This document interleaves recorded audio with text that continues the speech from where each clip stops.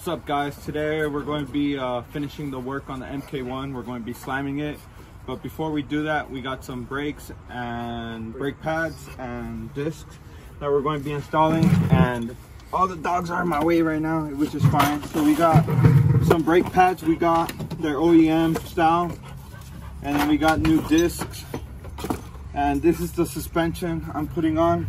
Adjustable coils. I got them off eBay. Um, they weren't that expensive. For what we're doing, this this will work fine. This is literally, I'm gonna drive this car maybe two, three miles, not very far. This is just a weekend car.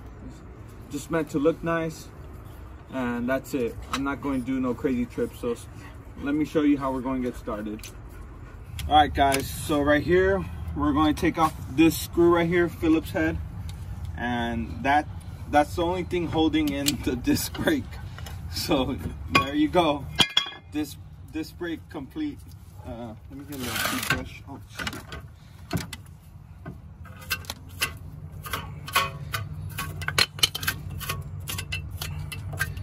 Dusting off the thing. No, no need to get crazy with it. Alright. There's a new disc we got. So li line up the little hole, you see it? Get your screw and screw it back in. That's it. And uh, your discs are done.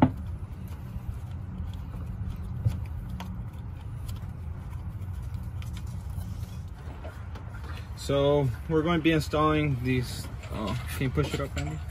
The the the back one is not in.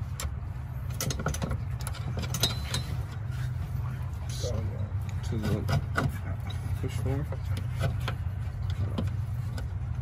You're almost there. There we go. All right, uh, we're gonna put these two screws in to hold it in place. Just hand tight for now. Hand tight forever. hand tight forever. Then this one, we're gonna have to get an impact and tighten it. It's on. Just this is just meanwhile and we're going to go down here get everything connected and we'll tighten everything up after. All right guys so we're going to get the jack lift up um, don't hear my bus. We're going to get, we're going to uh, get these to meet up right here. And it's important to have uh, the jack under it so someone won't be under it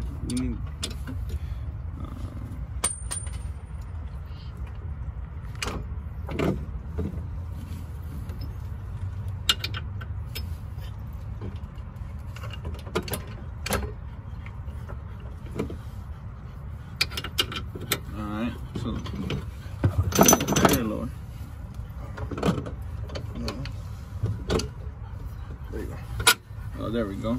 That's first bolt in. Damn, that thing's huge. That's what she said.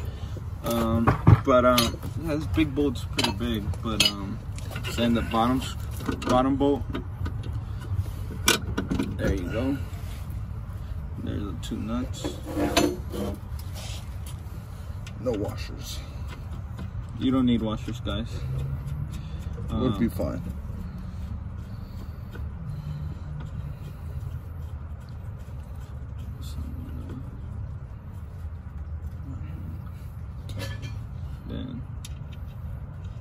fine.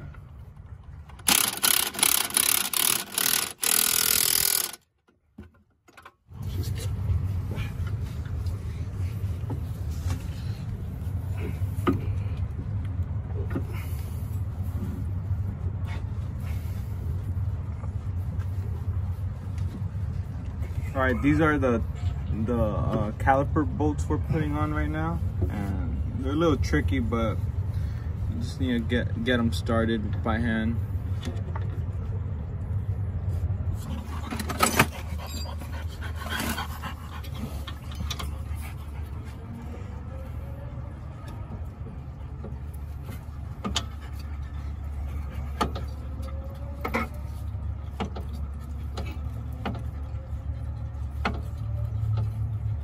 I'm here at the most crucial part, holding the light at the right angle. This is what do or die type of moment right here, and uh, I'm, I'm messing up right now, but but being being the perfect light guy matters, you know. So make sure you go above and beyond when you're holding the flashlight.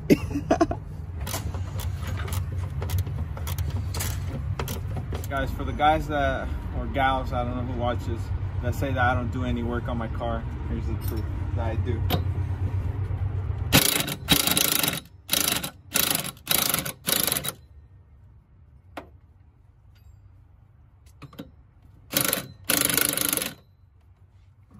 Perfect. I don't know if it's perfect. Usually it's the it's the bolt, huh? Look the Yeah. little hole. Try one of them. Galletitos. All right, so we're lubing up the bolt. Uh, this is what we're using. Uh, some thread locker blue. Oh, That's pretty tight. Uh, they just told me to get it, so I. Man, this is tight. Not that low as I thought, but Well, because I have it at the highest setting. no, but still needs to drop. Yeah, but once we put it You down, need to drop weight, homie.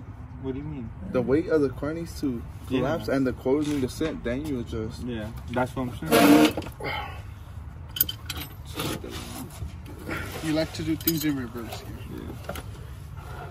Hold